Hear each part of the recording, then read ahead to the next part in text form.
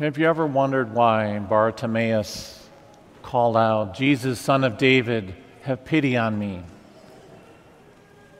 Because he had heard that Jesus was coming by. But why did he call out? When you ponder on that for a little while, you'll understand that someone had been sharing Jesus with him. Someone had been telling him about Jesus, about the different miracles, maybe about his teachings. So someone was interceding for him and sharing their experience with Jesus. So Bartimaeus is made aware of Jesus and what he's done.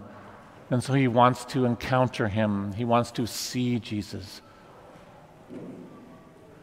But you think about Bartimaeus being blind. In the olden days, back in their time, if you were blind, you had a physical deformity, you couldn't conceive a child. A lot of times they believed it was something that you had gravely sinned that caused that. Or maybe your parents gravely sinned that caused you to be blind, deaf, unable to have a child, a deformed part of your body. And so I think our Lord is calling people to understand that that's not the way it is. So Bartimaeus calls out, and you see the community around him harassing him, telling him to be quiet. Shh, don't do that. But you see in him that desire to be with Jesus. Even though the community was pushing him down, pushing him away, you're not important, don't bother him. But Jesus calls Bartimaeus to come. And you see Bartimaeus in his great faith. And you wonder, well, how do you know he has great faith? What does he do with his cloak?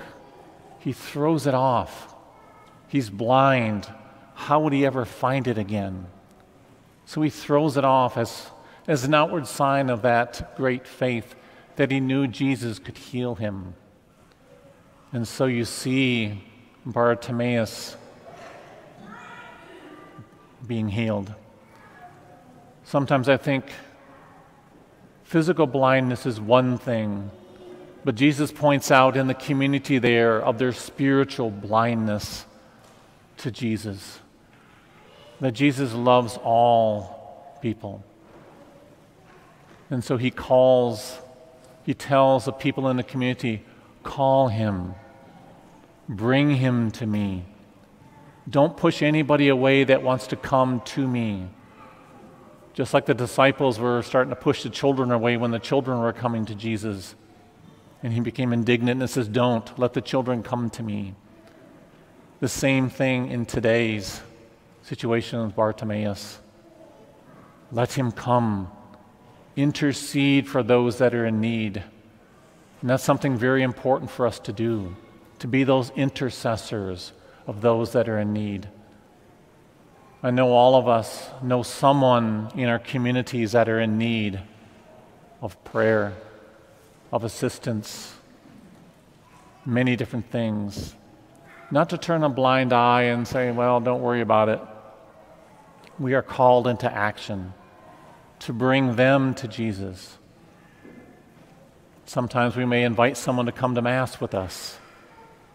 Maybe we take time in prayer and bring them to our Lord in prayer as we intercede for them. It's important for us to remember that our Lord loves all of His creation. And so take that time this week to think of people in our areas or in our families, maybe it's in our work, that are struggling, that need help. Offer them up in prayer. Bring them to Jesus through our prayers, that our Lord may touch their hearts and help them to grow in love with Him even more. Because sometimes when you're in trials and struggles, we need that help. Because you even see in Bartimaeus, he had physical blindness, but the community was spiritually blind, and I think that's even worse. So let us not let spiritual blindness ever touch us. let us always seek to intercede for others, to have our eyes open, to be able to see the needs of others. A lot of times you see the youth walking around, it's almost like they don't fall into a manhole with the cover missing because they're always on their device. Look up, because you only find and see the needs of others when you got these looking around to see what there is around us that is in need. Not so much focused on ourselves, but always looking for those that are in need, just like Jesus was walking by. Bring people to Him, offer them up in prayer. And that's something that we do because we want to be that image of Christ. We want to bring those in need of Jesus to him. And you've seen in many different parts in the Gospels where people that encounter Jesus are changed. And that's something for us to remember. When you encounter Jesus, you change your life. You kind of start to let go of the old ways, some of the old sinful ways, and you strive to be more like Christ. It doesn't mean we're going to be perfect but we strive. And you see Bartimaeus at the very end of that reading, how he follows Jesus. He had been healed of his blindness, and he follows him because he had a profound encounter with Christ. It wasn't just a healing of his eyes, but you think that profound encounter with Jesus, the Son of David, who did have pity on him and healed him.